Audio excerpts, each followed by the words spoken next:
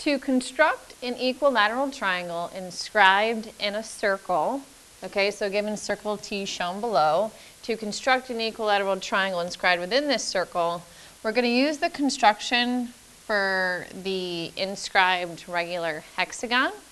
So we make, you put a point on the circle, okay, and measure the distance from the center to that point on the circle, which is your radius. And from there, we're going to make five more arcs, which would give us six congruent arcs around the circle. And congruent arcs give us congruent chords. So one, two,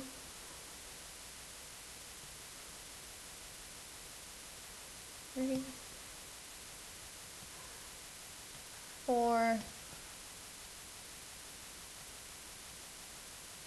five, and then here's our, okay, we don't need that arc, but now we have our six points.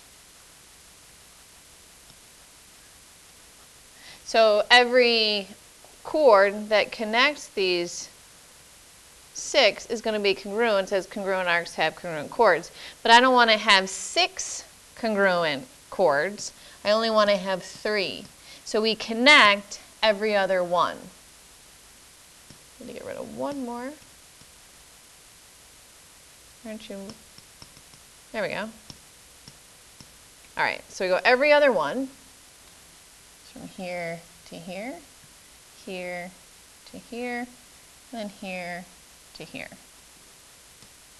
And just to make sense or also make note of, if I took the circle and divided it into three arcs, 360 divided by 3 is going to be 120 degrees.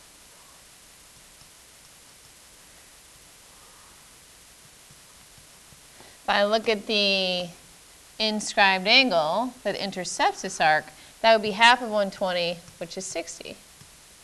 So each angle I know is therefore 60, and if all angles are the same, all sides are the same, which I knew to begin with, all sides the same, all angles the same, but this just proves each angle to be 60 degrees. We have our equilateral triangle.